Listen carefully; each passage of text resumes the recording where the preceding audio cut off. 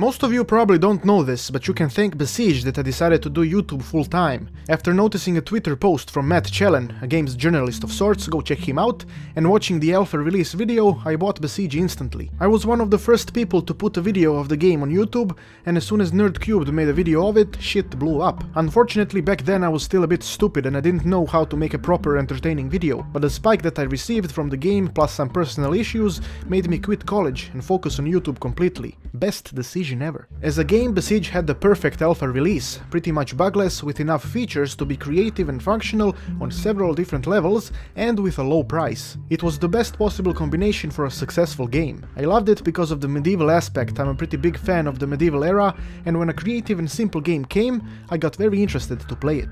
Of course, even after many many hours, I was still a complete idiot when it comes to creating things, so I started showcasing others' creations. I did make Besiege tutorials that were greatly accepted, but unfortunately I didn't expand that style onto my other Besiege videos because I was a lazy bastard, which resulted with a decline in views and in my interest for the game, so it started appearing less and less on the channel. As a creative person, I should have tried harder to learn to make complicated machines, and that was my mistake, because this game is magnificent and it is one of the best games I have played this year. I noticed the Mad Max game way back at the start of 2014 and I got very interested in it because the open world desert sounded very appealing and I always liked the Mad Max movies. After realizing that the developers are Avalanche Studios that created the Just Cause series, my interest spiked even more. Once the game was out, I livestreamed it for a week and played around 40 hours. The Batman-esque fighting, incredibly fun driving and strongholds made this game much better than I ever hoped for. Whenever I played it I always wanted to do more, kill more bastards, destroy more towers, develop more strongholds, and most importantly, upgrade my car. The relationship between Max and his car is very amusing, and the more you play, the more you start caring about the damn car. I don't ever plan to drive, and I know nothing about cars, but this damn game managed to make me care about it. This is why it's on my list. It made me care about the fucking car. The game that brought life to the city builders after that horrible shitbag of a game called SimCity. After playing the game, anyone can notice how the developers focused quite a bit on traffic rather than city development. Since they are the same developers that made Cities in Motion, this didn't surprise me. What surprised me was the lack of options for traffic control. Cities in Motions had a shit ton of options, but most of it was removed in City Skylines. Luckily, the game was built in a way where modding is highly encouraged. I wonder what would be the difference if they made the game supremely perfect, but without modding capabilities. Would that bring more sales but lower community activity? Because this is the city building genre, compared to other games the community isn't as big as one would assume. So I wonder, did they build the game to be okay instead of amazing because of modders, or because they simply didn't have time or money for it? The game also received its first DLC that came with a day and night update. While the DLC itself didn't seem to add a lot of content, the actual game got improved in many ways, because combined with the day and night cycles, you could do much more within your city. Unfortunately, the game isn't very difficult in any way. Traffic creates problems from time to time, but aside from that, it is very easy to play, even at hard mode. Despite the lack of fuckery and the excessive amounts of shitty water that the game has, it belongs on my list because I enjoyed it immensely. You're probably throwing babies at the screen and shitting all over your rugs because Fallout 4 isn't first on the list. It isn't first because it isn't the best game I played this year. Simple as that. Actually, it is nowhere near the best game I played this year, but thanks to YouTube, I'm enjoying it way more than I would if I wasn't making videos. As a gamer, I wouldn't put this game even on my top 10 list, but as a human being who enjoys things, I'm placing it second, because the settlement building aspect of the game, combined with the community on YouTube, which is enjoying my videos, is bringing me way too much enjoyment. The game itself is just not interesting to me at all. The story is useless and the dialogue is useless, you can't really affect anything in the world, all you do is run around, kill things and press A on your gamepad when talking to people. Upgrading your special is mostly irrelevant, because you can easily find the X-01 armor and fuck everyone up, regardless of your stats.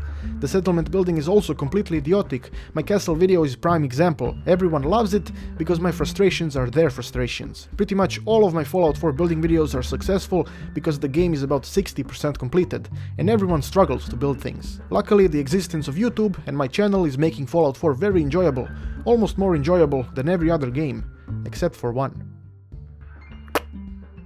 This may come as a surprise, but Rocket League is by far my most favorite game ever. Ever since I got it, I have been playing it every single day. Every match lasts 5 minutes, which makes it very easy to just get into it for a few minutes and play a bit. Sometimes if you really have a good game, you decide to play a bit more, and sometimes that ends up lasting 5 hours. It is a really simple game, you have a car and a ball. You have to get that ball into goal using your car.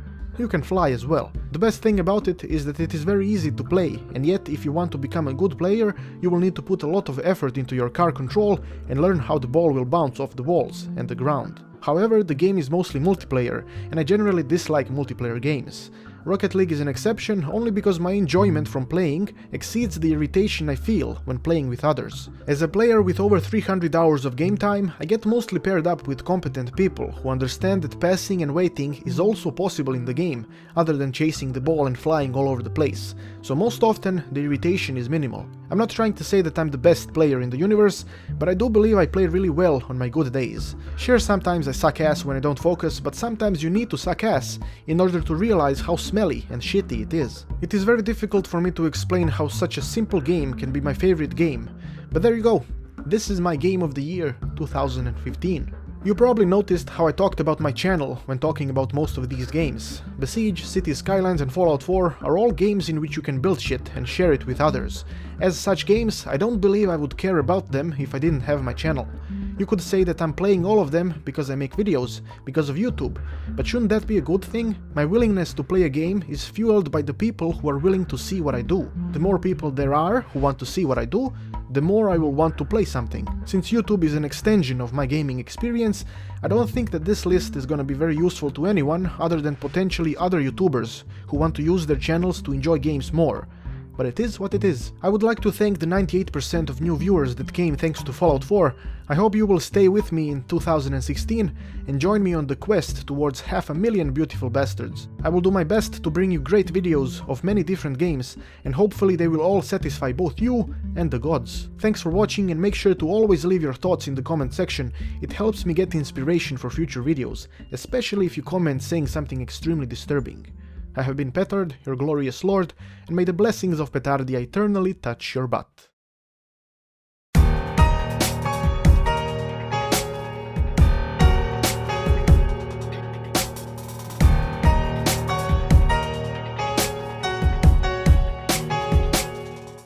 Really, really, sad ćeš slušat glazbu? Jebo ti pas mater idiote. Jebo ti pas mater idiote i tebi tvoj familiji. Pička ti materina. Slušaj ovo sranje. Pička ti materina bezobrazna. Jebem ti Boga Isusa. Kurac. I shall persevere through the fucking music of the fucking neighbor.